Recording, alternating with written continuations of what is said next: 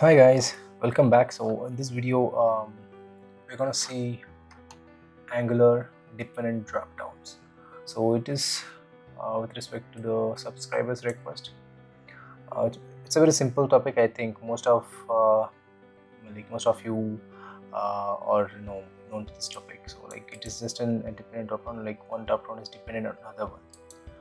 Um, so i've just taken an example that um, there is a teams drop down so let's say let's say we have a uh, india uh, australia or england. So let that be the teams and and like with respect to like if you select the teams and the second drop down should populate the uh, respective players of that team.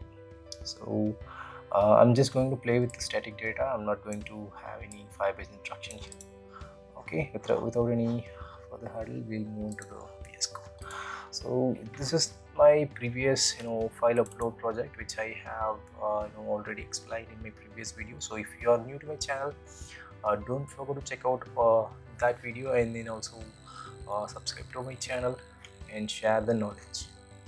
Um, the project is running. This is a simple project. If you drag and drop the file it will you know upload it to firebase. So that's the project. If you skipped it do watch it. And in this we are going to see simple dependent dropdown so what i'm going to do now is i'm just going to create a div and add a couple of drop downs here okay? So let's say we have select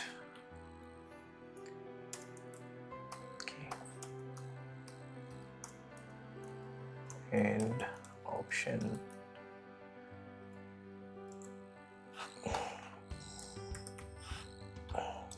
we have two drop downs. And the first one should be of teams and the second one should be of players.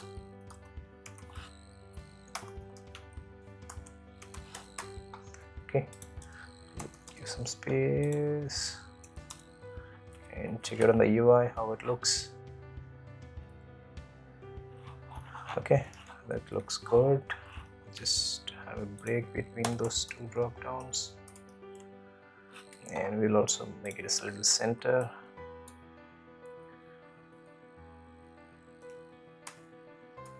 Okay so now it should come to the center. Yeah there you go. We'll also give some fixed width let's say mm, 100 pixels? Okay.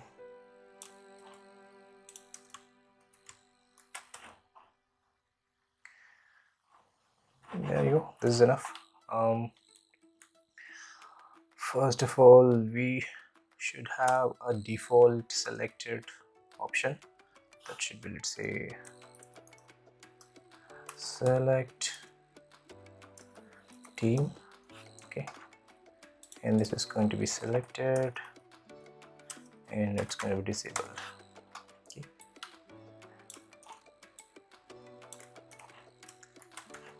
if you come here you should see this. Okay.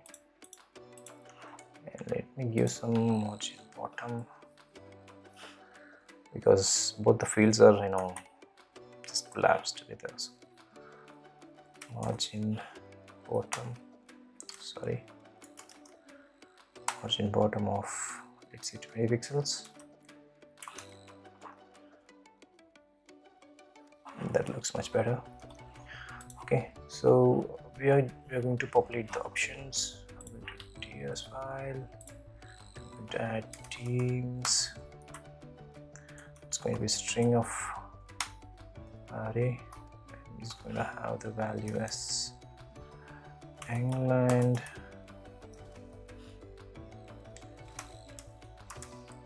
India. Australia.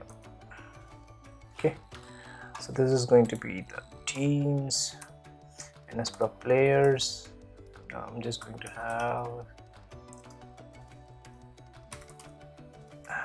empty array okay. So I'm going to populate this there save it over here. I'm just going to copy these options. And I'm going to say ng for let team of teams. And I'm going to pass this as a value the team name as a value going to be team. And this oh this option what I want to display is also going to be team. Okay. Similarly just copy paste it here for the second drop down. And here this is going to be players.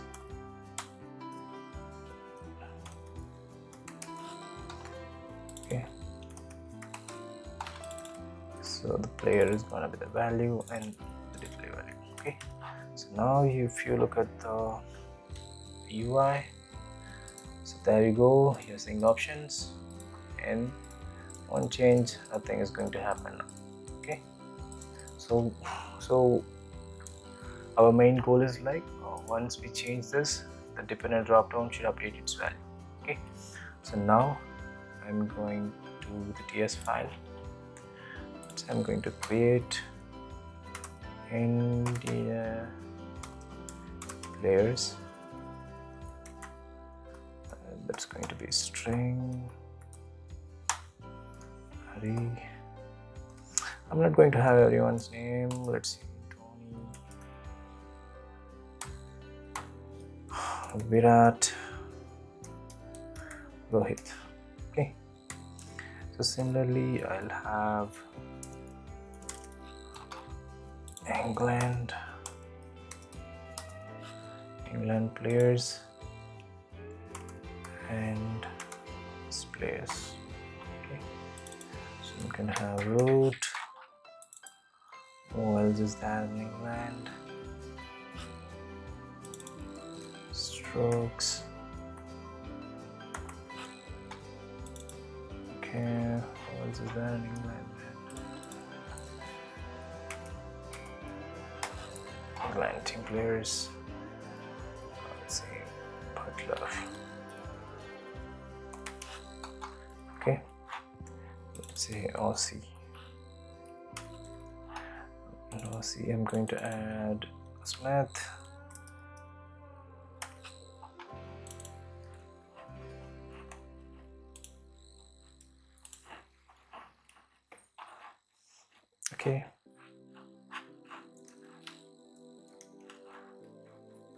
Finch and I'll have Maxwell. Okay. Okay we have the team players list. So we have the players which is getting you know iterated in the options. So what we are going to do now we are going to make a change function. To call a function which updates the value of this drop down okay. So now i'm going to say on change update players. Okay. Players with event target dot value. Okay. So what the, this does is like it will give you this particular um, field's value so i'm going to create a function in our module here. Say team name. Okay i'm going to do is switch switch team name case if it's India then I'm going to say this dot players equal to this dot India players and break it. Similarly we're going to have our okay? So i'm just using a static data. If you have if you have your values in your database then it will be much easier for you to just update uh, the value with your query okay so if you want this to be a dynamic one just uh, comment in the comment section. I will upload it. Okay? So i'm just going to play it england and aussie. Okay? So there you go. And we should also have a default. And this should tell that empty the players fine. Now I'll save it and I'll save this as well. And now we'll go to our file. Okay. So now if I change this to England I'm going to get England team players. If it is India in Australia and that it's working fine. And if you guys have any doubt please do let me know in comment section. Um, I'll reply as soon as possible okay? And uh, do subscribe to my channel. Share the knowledge. Thank you